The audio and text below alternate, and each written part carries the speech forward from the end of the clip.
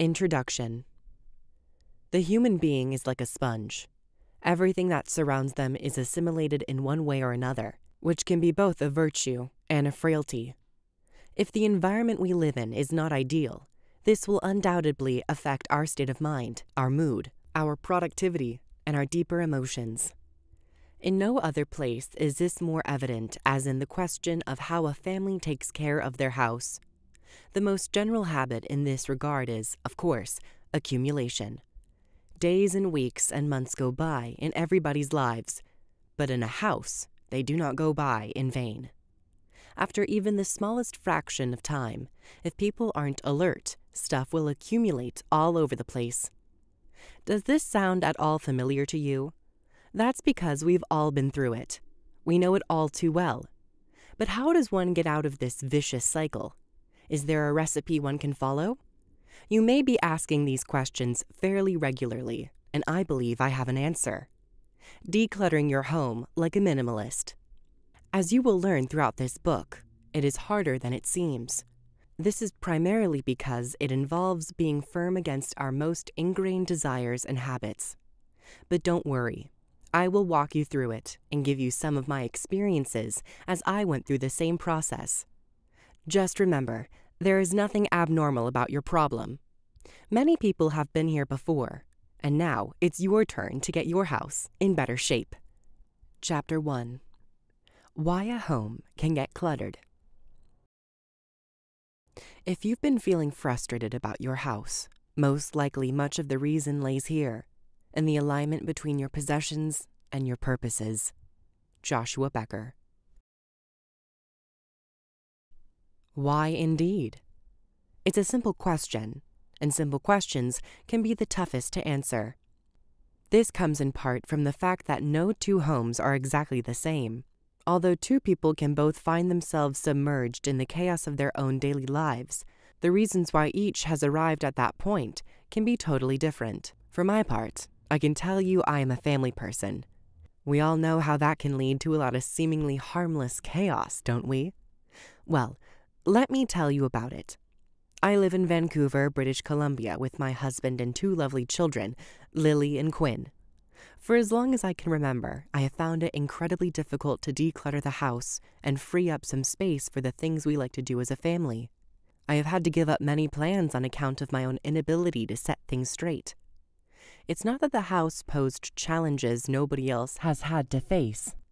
I'm a financial journalist who has been working from home for the past six months, and as it turns out, I was able to witness just how easy the house would get stuffed with things nobody was really using. Because of this, I started to become an obsessive cleaner. Every day that went by seemed impossibly short, and I started to get suffocated by my own stress. I just couldn't find the time to do everything I had to do. Even worse, this pressing feeling inside me started to show. Friends and family alike looked at me and felt worried. Are you okay? You don't look so well.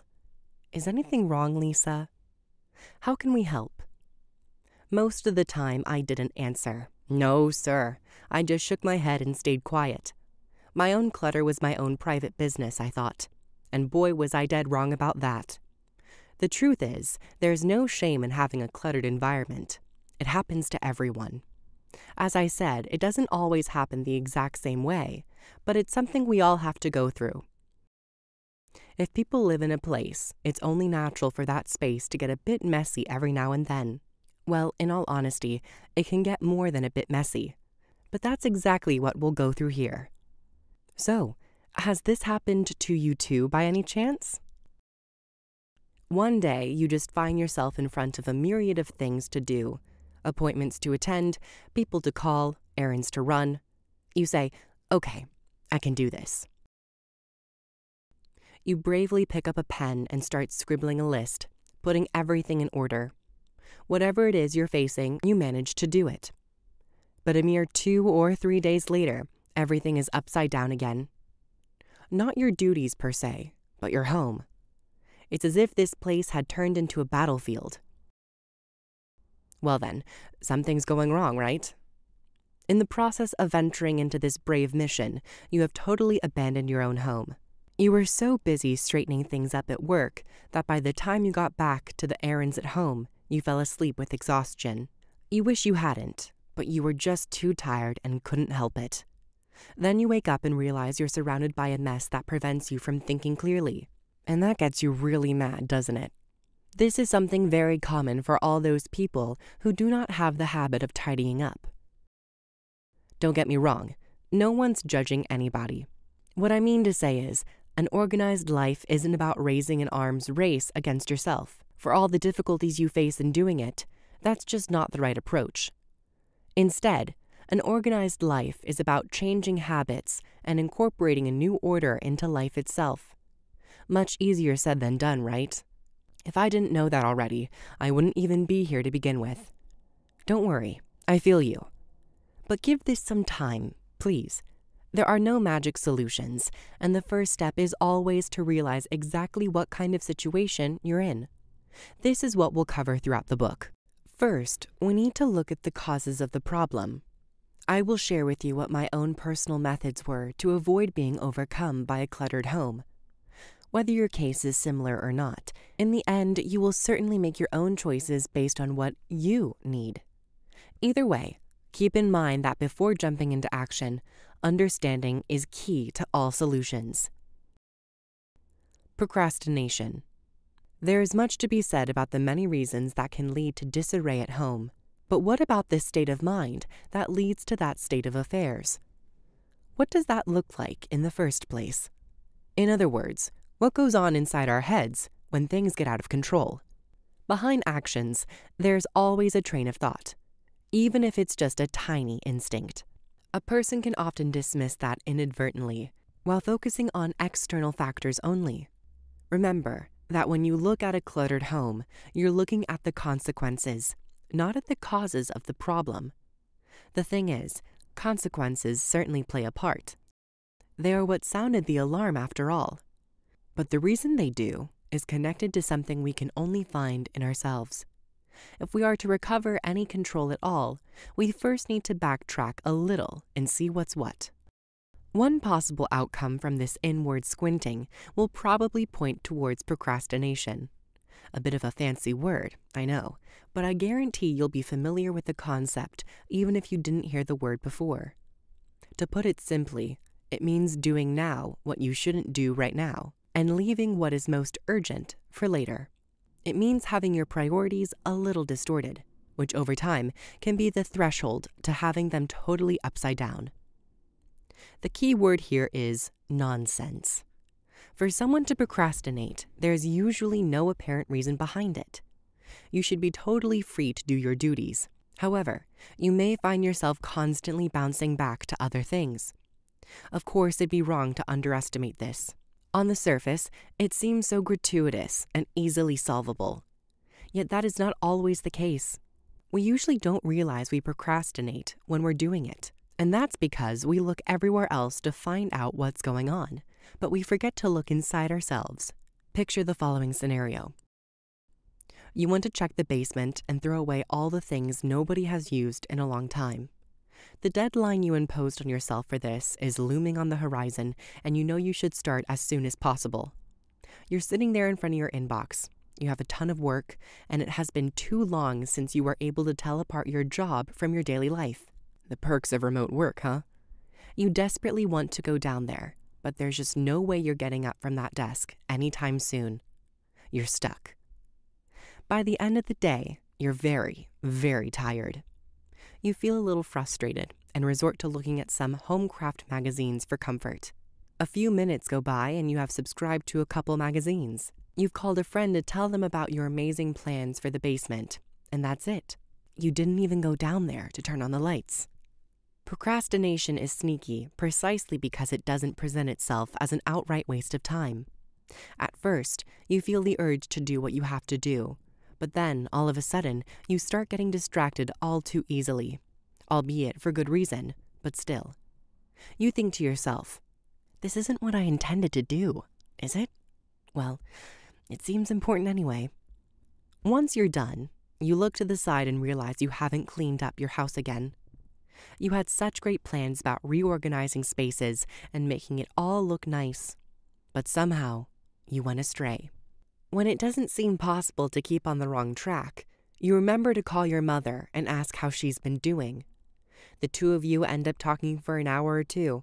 By now, you really are distracted from your plans, and perhaps not for the best of reasons anymore. In fact, you've missed your deadline by a lot. Then, when you look up to the window, you see the sun isn't there anymore. A cold feeling starts to climb up through your spine, and you get worried. Your entire expression freezes in a kind of panicky grimace. You've just wasted a whole afternoon. What just happened? There was no good reason to avoid sinking your teeth into this project. There's also no way of saying that all the things you did do are in any way inherently wrong. No, this isn't about that. It's about timing. What is more, it's about focusing on whatever you can find to keep delaying that daunting project a little longer. In the end, it is therefore about not being able to confront a particular challenge, perhaps because you're overworked, out of laziness, or perhaps because you're worried what the outcome will be. Either way, you do other errands in order to get distracted from your main goal, turning the basement into a cozy place for the family to hang out. People who suffer from this problem are basically just pushing the can further down the road. Since this will not make things disappear, what happens is, later on, you'll have much less time to take care of them. On top of that, the place looks awful because the project you had is still nothing but a dream. Hence the stress and frustration. Multitasking. Not everybody procrastinates, though. Many people are pretty capable of looking at their to do list and organizing their priorities accordingly.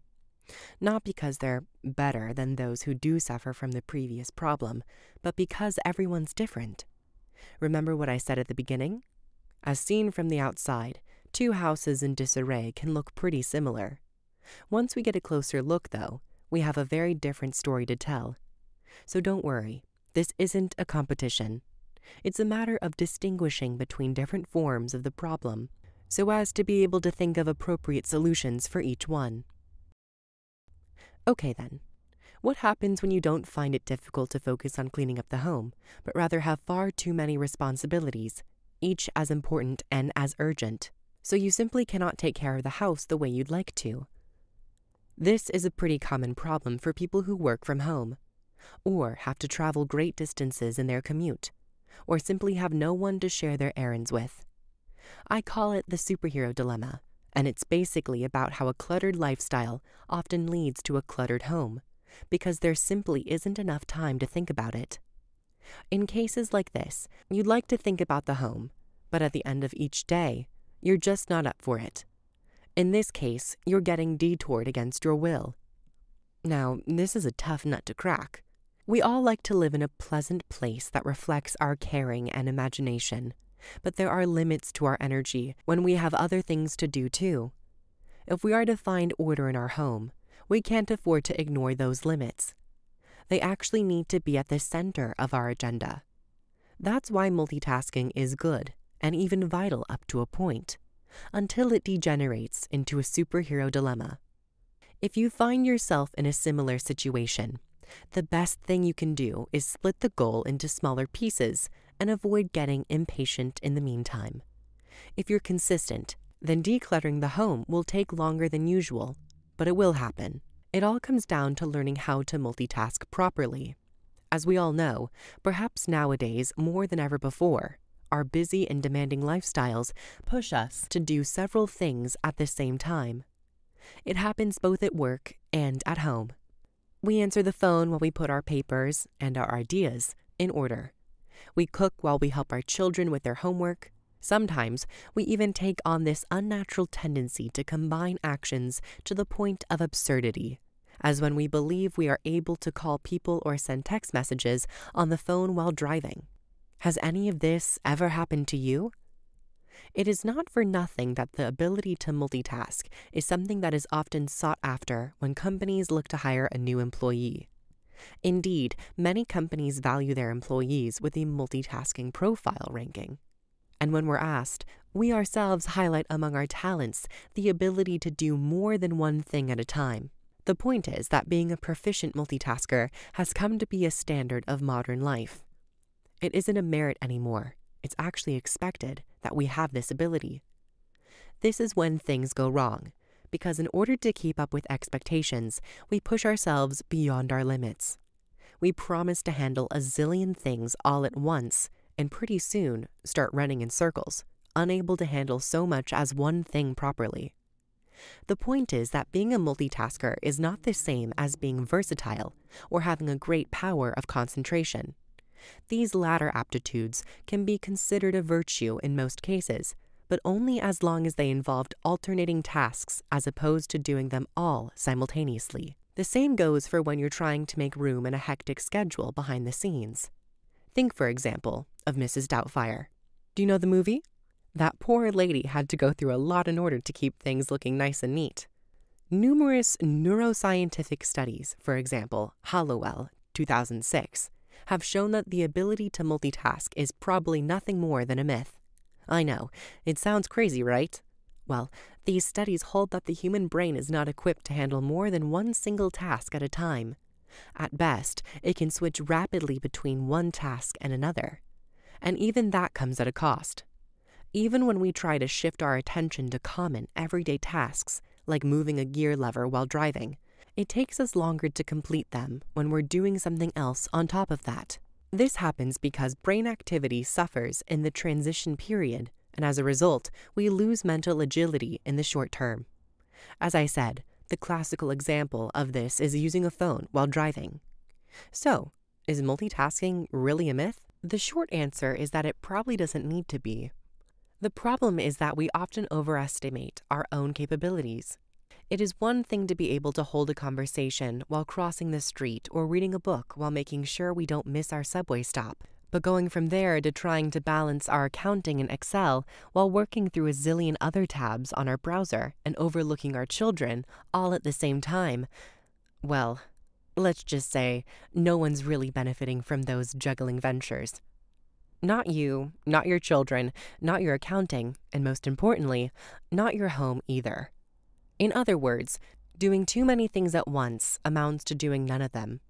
In that case, you might as well just take a break and really do nothing for a couple minutes. At least that way you'll get some rest. The reality is that we are far more cognitively limited than we like to admit. Handling various things properly means putting them in order and focusing on one at a time, one after the other. If you want to apply this principle to your home, that means splitting big goals into smaller pieces. You might not be able to clean up the basement in one single round, but if you do it little by little, you can eventually get it done.